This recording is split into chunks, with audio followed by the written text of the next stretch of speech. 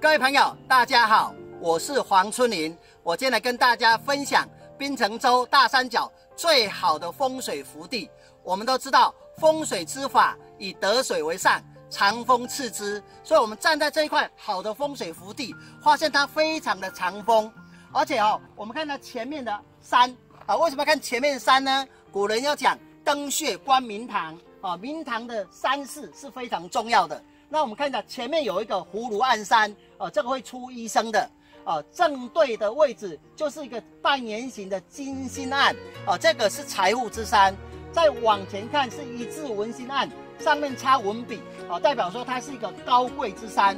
啊，另外我们要看哈，就是说这块地的前方，啊，有一个小水池聚在前方，啊，代表它能够啊把这个地的气给聚起来，啊，这个是一个好的一个风水象征。然后它外面的水呢，有两条大河水，呃，交汇在一起，啊，形成啊锁住这个叫做龙穴沙水一个好的一个局哈。那我们看看哈，这个呃啊龙沙，这龙沙是一个天马的一个形态，啊，所以说它高，所以代表说它贵人很强，而且它的后山就是一个梦光水坝。梦光水坝就是最大的一个财富之山，风水只要有有水坝的话，在旁边的话，那铁定是一个很好的财富啊，很好的巨富的财。那我们看一下它的来龙去脉，我们来来龙是从哦哦这个大三角山，啊大三角山是我们槟城州最高的山哈，就我们称为叫太祖山。那经过呢少祖山、父母山，哦直接哈哦落脉下来哦，这个是父母山直接落脉下来。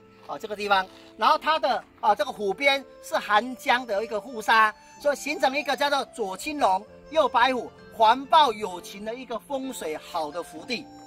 哦，那我们来看一下啊，这个前面的山势哈，看起来非常宽广，所以会容万马，所以这一块地是非常好的福地。那我们先来看看哈，啊，它的一个详细解说。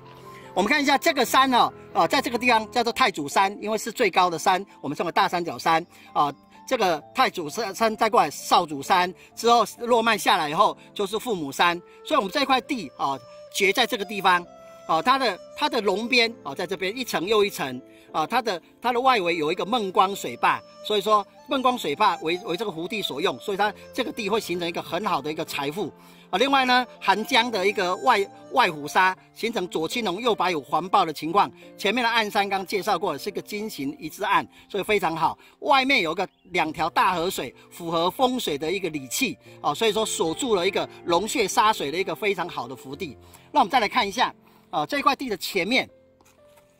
哦，我们都知道这块地，我们站在这个位置啊，就是一个我刚才站的位置，就是风水福地的位置。这风水福地的前面哈啊，有一个。葫芦暗山，这会出医生的。然后它的前面有半圆形的，叫做金星案，这是财富之山。然后再再哈，在前面再看的时候，发现它有一次文心案，这个一次文心案上面又插文笔，代表会出官贵，会出读书人。而且哈，它的这个龙边哦，它你看非常强哦，它是一个呃天马的形态哦，是贵人的一个一个一个龙沙。好，那它的后方就是一个梦光水坝，是一个大财水，所以说这块地就变成形成一个龙穴沙水非常好的一个福地。